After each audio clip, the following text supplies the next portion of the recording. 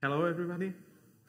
My name is Tomáš Barnaš, and I'm co-founder and CEO of Overhead 4D. I will talk today about uh, turning the real worlds into digital assets.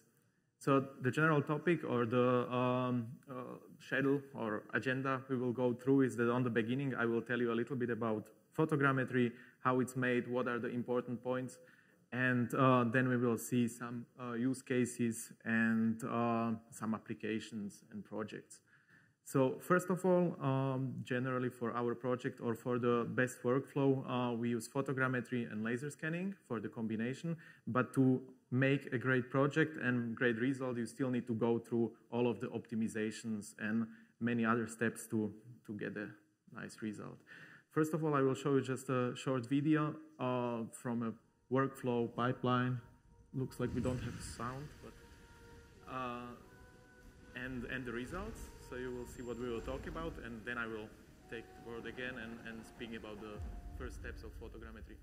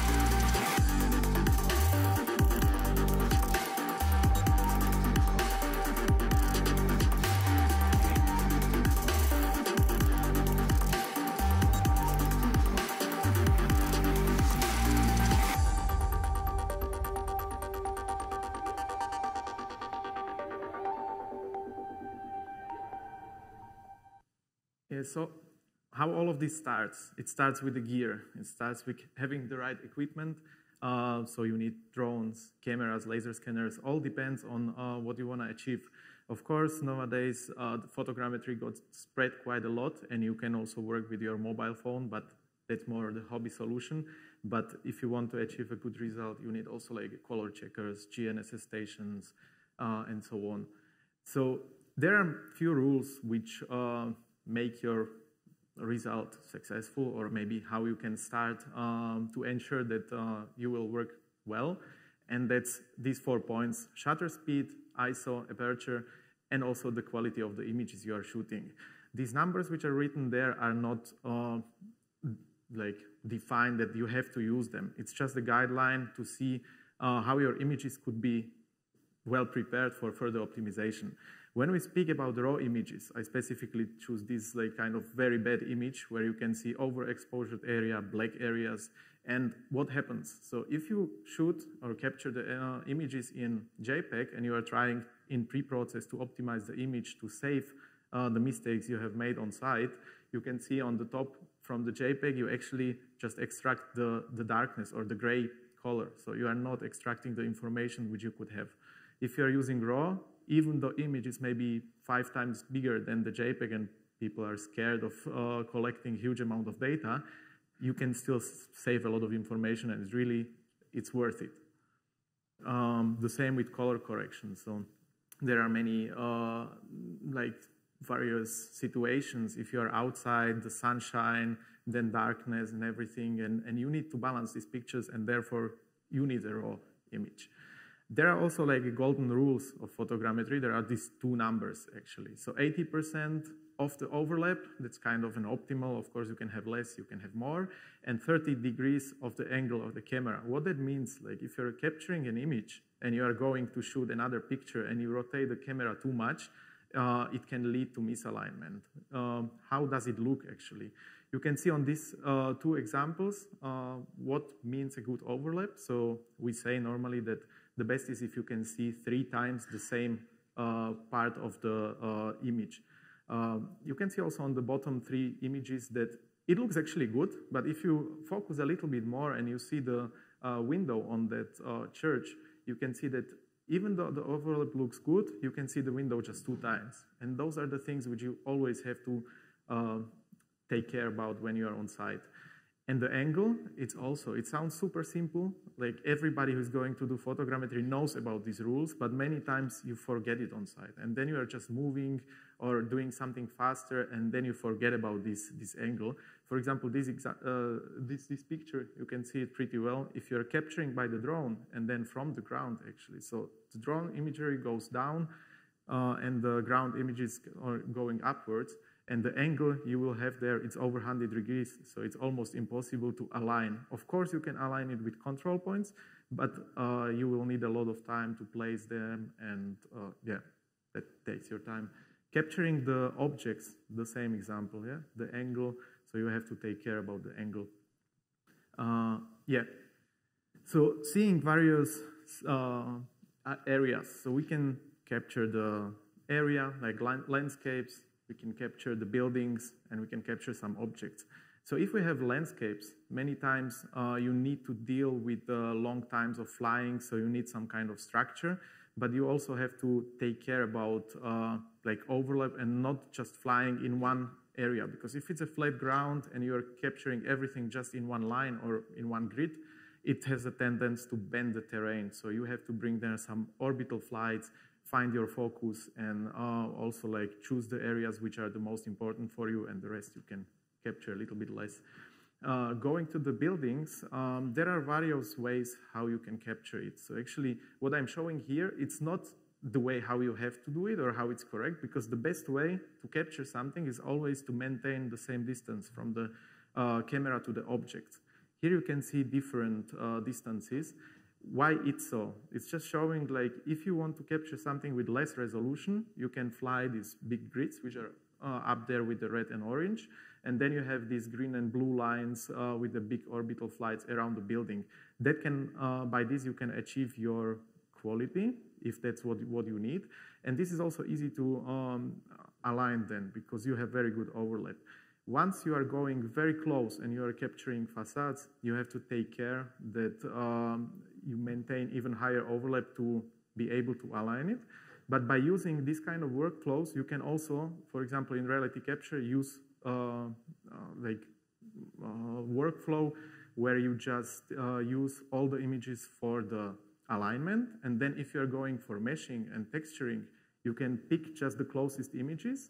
And, and so like with these far away flights, you can ensure your good alignment. And with the cl close-up images, you are getting actually the high resolution of the textures and mesh.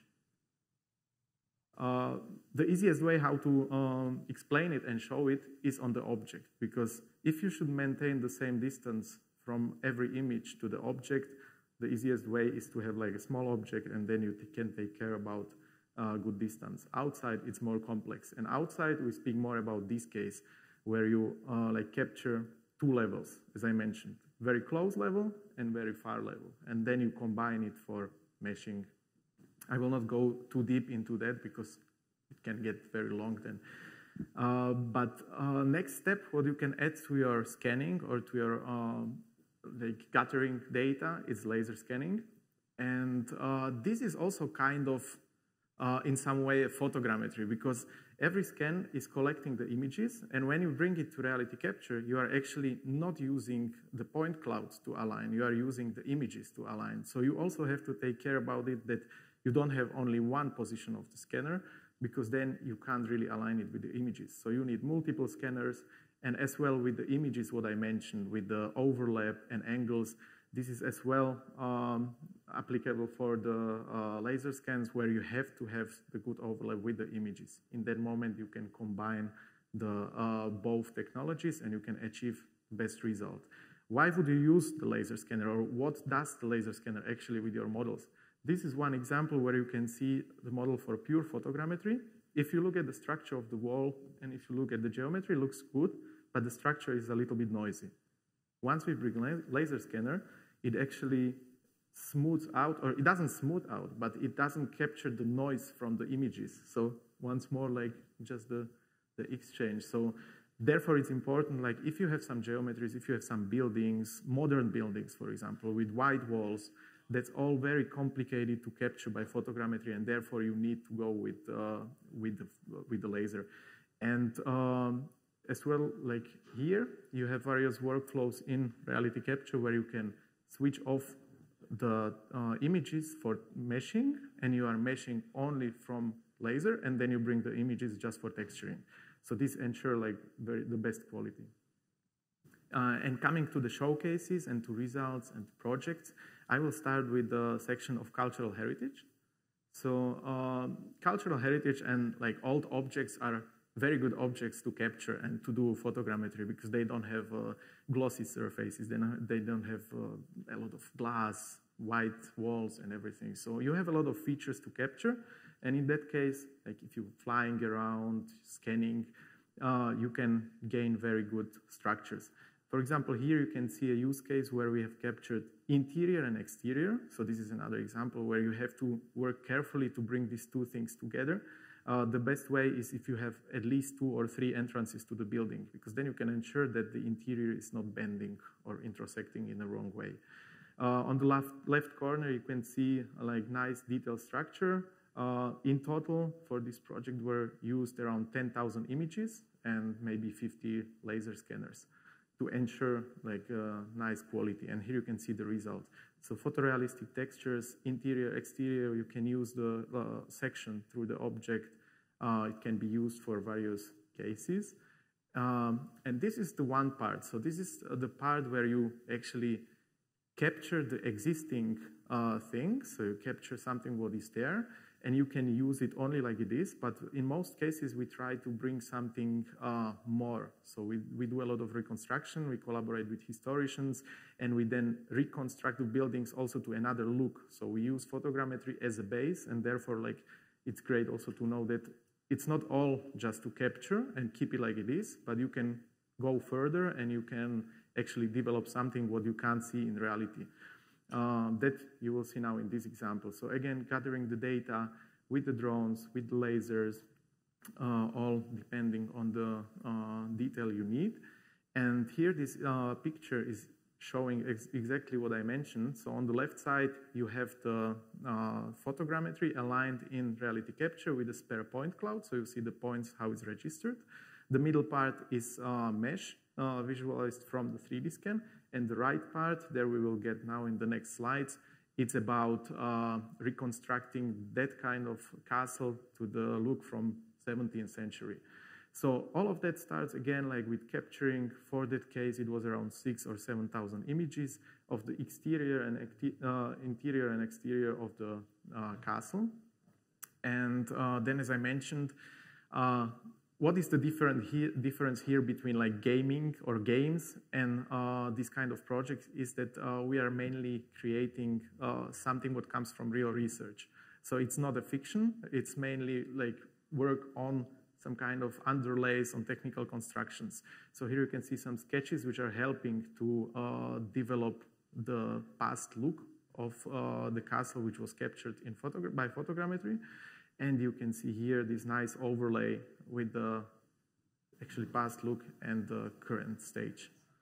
Uh, yeah, step by step, it's getting then also the materials which needs to be produced, trying to uh, represent the materials and look from the past. So the walls can't stay really flat, and you're trying to achieve the uh, like this old old feeling there.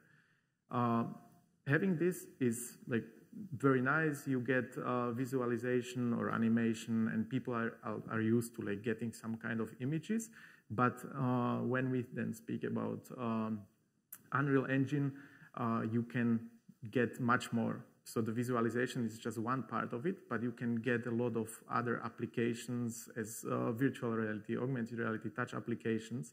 And here you can, for example, see that uh, this castle was made for augmented reality, where you can come to the real like ruin of the castle. You can take your phone, you can you can view it, and you mix the realities. So you see actually something what was done in the past. Uh, this is also a nice thing that it's visual, but it also brings again young people to um, culture. So uh, the problem nowadays is that young young people, the young generation doesn't really like to go to museums and to the castles, and everybody wants to play with the phones and, and capture something, make selfies. And like this, you can give them a tool that they can play and learn. So this is really like helpful. Here you can see another use case uh, where it's like a touch application which is helping guides to uh, give the information to people. And uh, another part is like visualization, what I mentioned that it's not the only way how you can uh, like finish your project. And here, uh, like showing this ant was just an idea to uh, give you a feeling about the detail which can be achieved. So that all what is uh, there now, it's from photogrammetry, it's existing, and this part was actually reconstructed to the, together with historians. Uh, the way how it's cracking and how it's falling was not about like making super realistic crack. The, the idea or the, the target was to make uh, the destruction in the way how it was supposed to be in the past, that all the ruins are actually on the position which are found now. So it's kind of a yeah, reconstruction of that. And you can see this combination of a huge land, huge area, and uh, very nice details. So the area around castle was captured and it was combined with the uh, map, map data which are available. So we extended the area like, as you can see, this was just scanned. yeah, all the tests and trying the, uh, to process all of these and then simulating the lighting situations.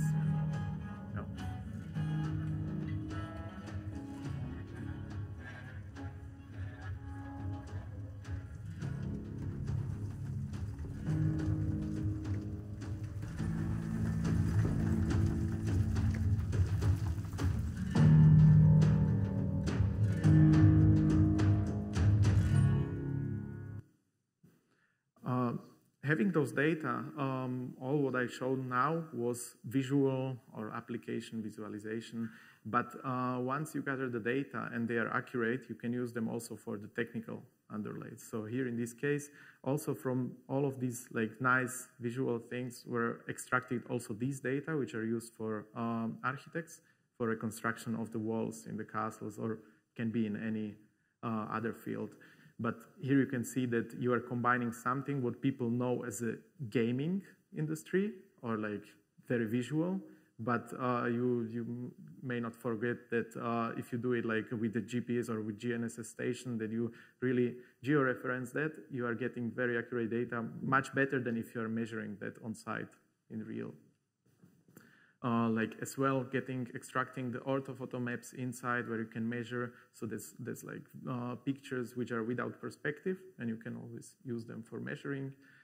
And uh, coming from these big uh, areas or like castles uh, to the small parts, small objects, uh, I'm showing because having a nice scene or nice application, it's not just about having like one huge scenery. You have to always think that if you are making an interaction and giving people a tool to walk wherever they want, they also need something more detailed, something where they can touch and play with. And here you can see objects like the smallest one on the left side is uh, like two centimeters uh, small and still use the same technology, the technology of photogrammetry, like capturing really nice details. Um, yeah, this is also a key uh, where you can see normal maps extracted also from photogrammetry. So uh, looking at the workflow of the objects, as I mentioned, like the best is to uh, maintain the uh, same distance all over. So for the objects, many times uh, we are using or, or there are used uh, the turntables, which are helping you to rotate the objects uh, correctly and don't move too far from them. So you can also see it here on the in the corner, how accurate then the circles are made and how easy it's then reconstruct the objects because you can uh, really measure how many degrees you are doing the rotation. So this is very helpful. And uh, there you can see also the structure of the textile. So we speak here about like below millimeter accuracy. Yeah, and uh, like as I said, like together in combination with the whole scenery and the small objects, you you are able to create a nice applications which can be for VR, AR, or any other apps. So um, coming more now from this cultural heritage side um, to the area of uh, producing some applications, so not games, but interactive applications. Uh, I will show you now some results and also some uh, various scenarios. So we will go to cave scanning, underwater scanning, mountains, and very complex areas. So here one video from a cave. As I mentioned on the beginning, like the key to success with every project is to do uh, good planning and to uh, like capture the data correctly. So you have to know where you go, what you are planning to do, and uh, you have to adjust the workflow according to that. For example, here we had to go with uh, uh, huge batteries uh, to have the lighting inside because like there is no electricity. And uh, if you are combining laser scans and photogrammetry, you need to uh, light up very nice the scene over entire pro process. So you can see like uh, we could walk in that gallery, uh, in the cave. And having this environment is again just a first step. So you have a realistic place, and then you can decide if you're going to show it realistic or if you want to do anything extra.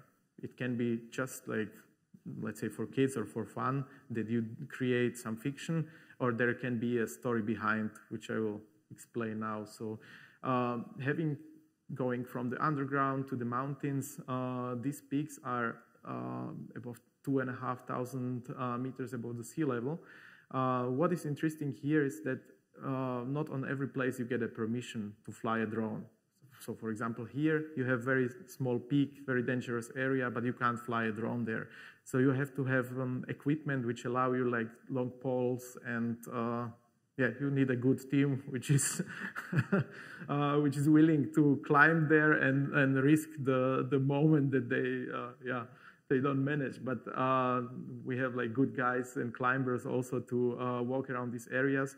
And uh, nice on this is that um, the, the, part of that project was to capture like six highest peaks uh, in Slovakia to bring them actually to uh, people which are uh, disabled for walking or they, they uh, don't have a condition to um, climb so high and you can uh, bring them through VR uh, the possibility to walk on the peak and see the view around.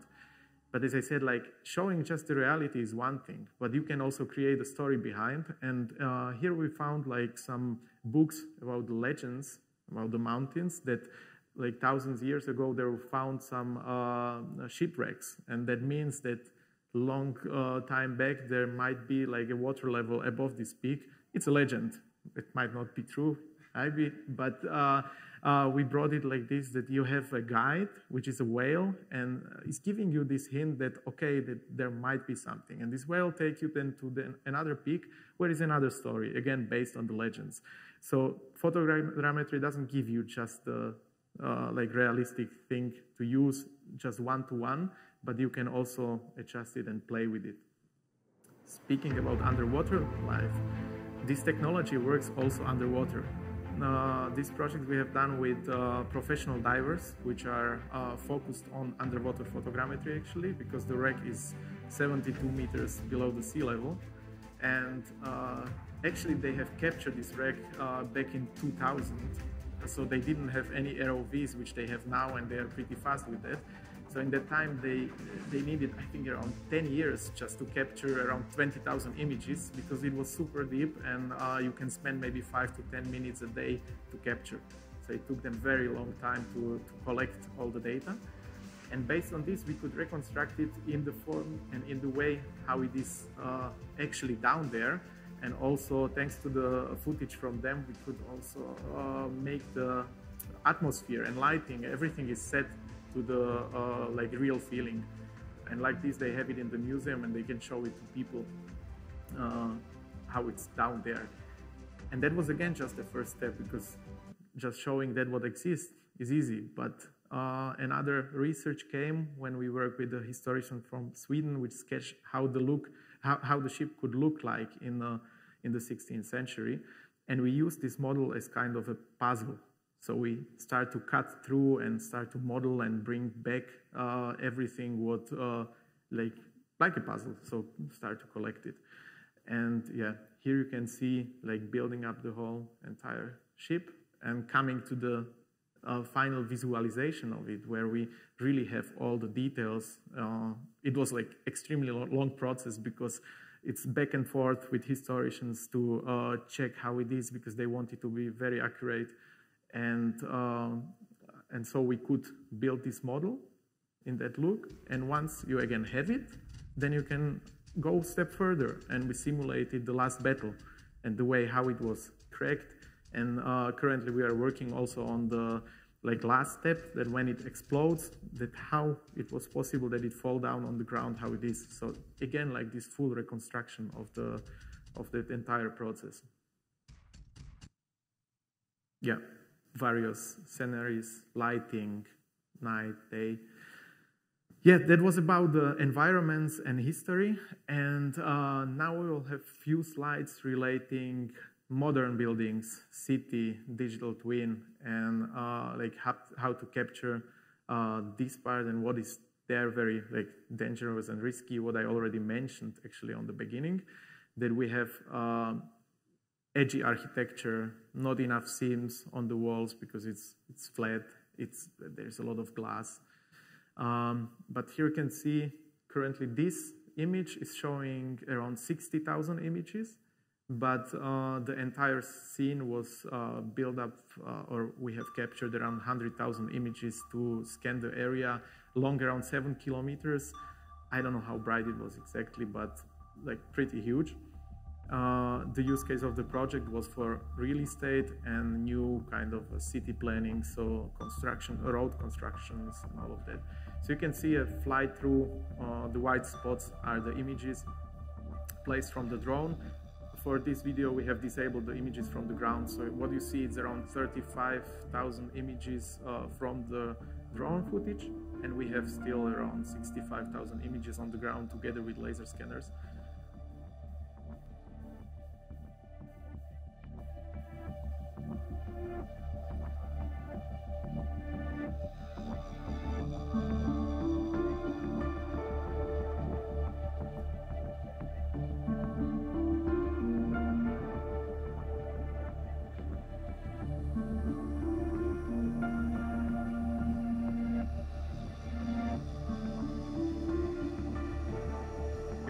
Also this point cloud density, which is just uh, meaning how many points are currently displayed on this stage. But entire project was, uh, I think, around 10 billion polygons in the raw stage. Then everything needed to be optimized and prepared because uh, having a raw data and big data, it's one thing, but then you have to bring them to certain application. And this was also made for real-time application. Uh, you can see here already some splitting of the areas. So you see these white buildings. That is just showcasing um, how we have separated the objects. So it's not just about like cutting them to random squares, but to optimize the scene in the best way is always to uh, pick your like points of focus. So we have chosen the buildings which are important. We have separated them, and uh, yeah, optimize and texture then building by building. So you can see even though it's glass, all of this is uh, already 3D, even the sculpture on the left side. So it's, it's pretty detailed. Here you can see in certain areas like the mesh is not maybe perfect, but therefore we had to go through ironing and optimization. So this was not done by like CAD softwares, it's still mesh, but uh, as the entire city was, as I said, like around six kilometers long and everything ended up in one real-time application, uh, it needed to be optimized pretty well. So there was a lot of work, manual work. And here you can see the final look with the new buildings which are going to be uh, reconstructed there. Yeah. Uh, this is kind of a mix because this is more like VFX than, than a real like full 3D scene. It was just part of that project and uh, I like to show it because sometimes you don't have to uh, like 3D uh, scan everything. So that was like video footage and we brought the 3D tram inside. And again, like in Unreal Engine, you can combine whether it's like everything fully 3D or you combine video and 3D. So um, a lot of things possible. The last part, I got a bit faster than I was expecting. So uh, there is also, like I mentioned in the first part, that we had like large area scans of the castles, and then we had some small objects. And the same is for the cities. So you have a big city, and then you have to also think about scanning some objects, or um, it doesn't have to be a car, but it can be a bench or lamp, which are also part of that city. And here I just want to show how you can also bring alive the scanned object. So here we scan this car, and you bring physics. Of course, this was not realistic how it would be, but uh, like having this car, having all the textures which is which are scanned, and you can really make the physics there. You can let it uh, drive through the environment which you scan, which you use from the assets, whatever. So you can really display it nicely.